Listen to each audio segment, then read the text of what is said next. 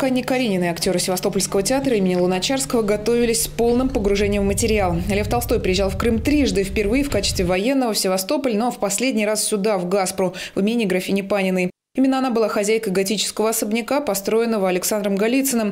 В имении, раньше называвшееся Александрией, в сентябре 1901 года приезжает Лев Николаевич погостить до июля 1902 Здесь он напишет Хаджи Мурата, будет сидеть на террасе говорить с Чеховым, дышать морем и много-много ходить.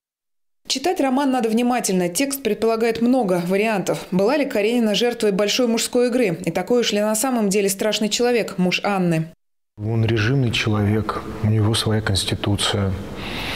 Он делает все на 200, на 300 процентов для семьи, как он считает. Но он тоже чувственный человек, он тоже страдающий человек. А мы же не знаем, что у него там было, какое у него было детство и что, какая у него была история, понимаете, жизненная.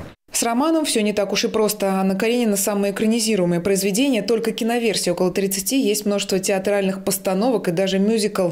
Мы стали очень жесткими, мы перестали э, прощать ошибки. Мы, э, наверное, а это, наверное, очень важный момент. А еще очень важный момент – это то, что сейчас мы э, есть какой-то такой колоссальный дефицит любви, когда люди э, начинают любить пальцами, начинают любить через экран компьютера.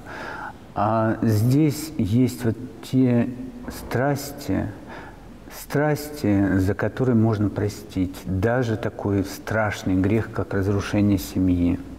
Но пока зрители делятся впечатлениями, многие специально приезжают из Москвы. Я считаю, что это ну, шедевр, что ну, такие чувства вызвать в зрителе уже бывалом и классикой, которая обычно такая кажется, ну, скучная, да, вот, допустим, малый театр приезжает, я не могу высидеть больше одного действия, скучно. А тут ты сидишь на одном дыхании и хочешь еще. Интересно, что к Ане в театре возвращаются 65 лет спустя. В последний раз здесь обращались к трагической истории Толстого в 1952 году. Переосмысление, перепрочтение романа было необходимо, уверены луначарцы. Также считает и потомок писателя Владимир Толстой. Ради этой премьеры он также специально приехал в Севастополь. Всегда современные эти отношения любви, верности, измены, предательства, счастья, понимания смысла жизни.